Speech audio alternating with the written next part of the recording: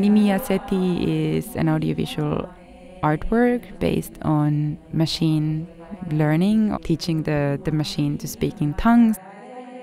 So my name is Jenna Sutela and I work a lot with words, sounds and living materials, exploring um, biological and computational systems. I'm working with machine learning to generate a certain type of glossopoetry based on Martian language by the French medium Hélène Smith in the late 1800s and the movement of Bacillus subtilis or the Nattobacterium that are also known as a test species in spaceflight experimentation. Together the bacteria as well as these early Martian scripts will, together with the computer shaman, will create a new um, language altogether and the end result will be an audiovisual work. nimiia cétiï is something that I worked on as part of my residency at the Somerset House Studios and at the Google Arts and Culture Lab in Paris, together with Memo Akten and Damien Henry from Google Arts and Culture Lab. So I've been working with computer vision for uh, like well over a decade now trying to get machines to see. But in the last four or five years, I've also been very interested in machine learning, uh, which is actually in the last couple of years really exploded.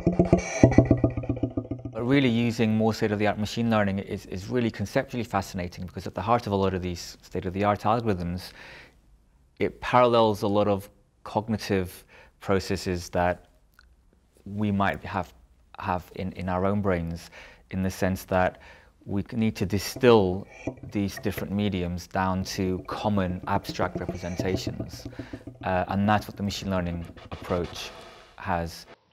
So Bacillus subtilis is um, the main ingredient of natto or fermented soybeans, known as a very healthy probiotic. Bacillus subtilis is one of the main bacteria taken to space on, for example, um, the Mars missions to test the limits of life.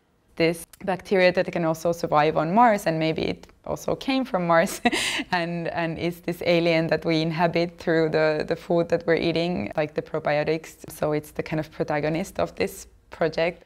And right now I'm, I'm using its movement as a sort of a script for this language that is generated. So the bacteria is filmed through a microscope and then the movement is, eh, of the bacteria is uh, observed by the computer.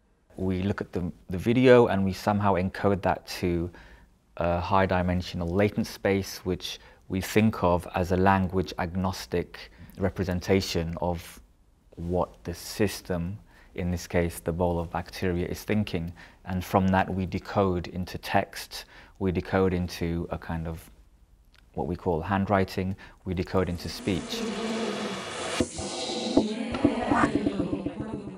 The idea was to generate um, language that's uh, that's audible, and that's the part that we've been working with Damien at in Paris. So the idea is basically to to record these uh, snippets of sound and and then feed these uh, into the computer and have it uh, learn that voice. It's very important for us to work with artists because uh, it's the opportunity to, um, to use algorithm in a way that they are not been designed for.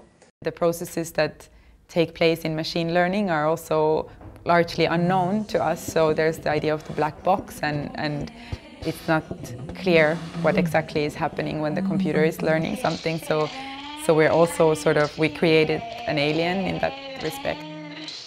There's like a lot of similarities between looking into the microscope and looking into the cosmos.